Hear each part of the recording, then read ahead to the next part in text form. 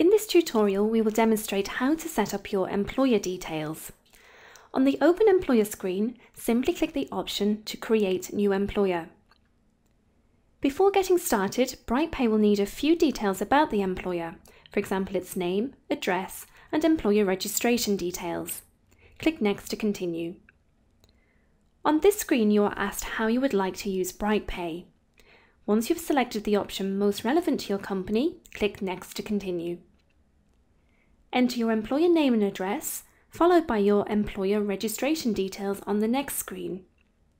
For RTI reporting purposes, a valid employer PAYE reference and your account's office reference number are required. If you qualify for small employers relief, tick the box provided. Also select the applicable tax accounting method for any company benefits, if applicable. Should you wish to organise your employees into departments, simply enter the departmental names you require in this screen. These departments can subsequently be used in your payroll processing and analysis. More departments can be added at a later date if needed. Alternatively, if you wish to skip this step, simply click on Next. On the next screen, you are now asked about your typical employee.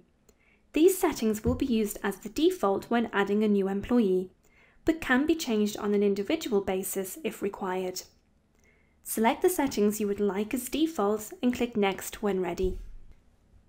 UK employers must automatically enrol their staff into a workplace pension if they meet certain criteria. Your staging date is when your automatic enrolment duties first come into force.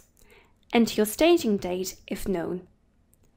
If you are unsure of your staging date or wish to check it, click Connect to the Pensions Regulator to retrieve my staging date.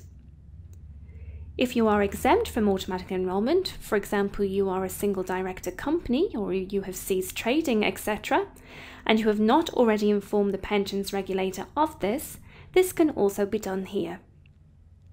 Alternatively, you may wish to complete this section at a later date. To protect your payroll information, you may optionally set a password.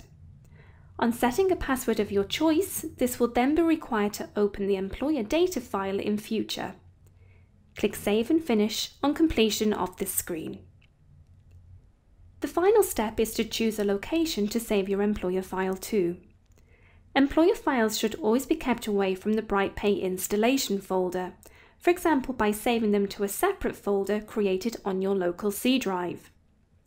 Multiple users of BrightPay who wish to share employer files across a server or network should ensure that this folder is created in a central location so that employer files can be saved here for shared access. The software itself, however, must be installed and run locally on each individual user PC.